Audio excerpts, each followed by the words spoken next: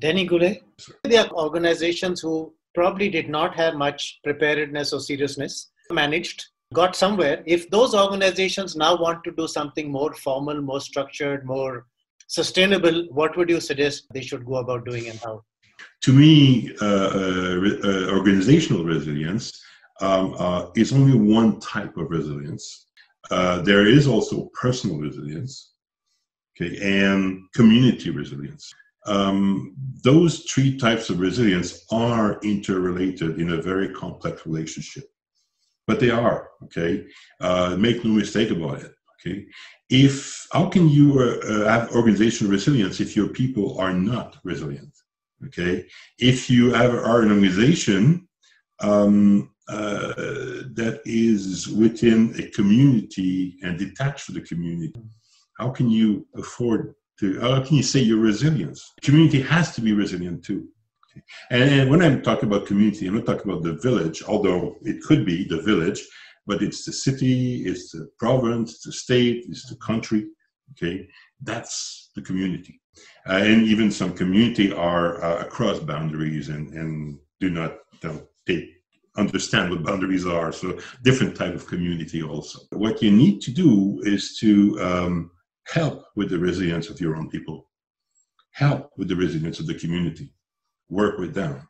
Uh, it's been happening in in organization, more and more organization. There's a trend.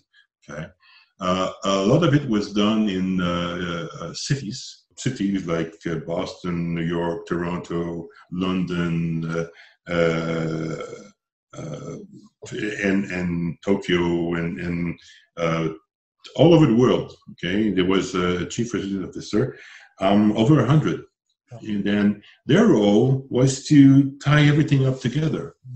Okay, all the needs that a good example, uh, they needed to to build a dike. Okay, in a city. Okay, just a little bit more, you can have a cycle path. Uh, these are the places they had a problem with uh, flooding. They also had a problem with uh, parking space in the city. And then they also had a problem with green space in the city, which was insufficient. Guess what they did? Okay. Um, I've seen a city where they were building a dike and an organization uh, uh, lent uh, engineers to help them with the dike.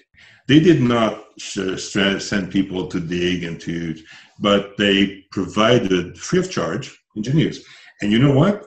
That dike will prevent flooding that would affect the company. It makes sense, okay? They uh, carved out in the city a nice park okay, under which there was parking space. And at the bottom of it, there was a reception uh, place for the excess water coming in. Wow, nice.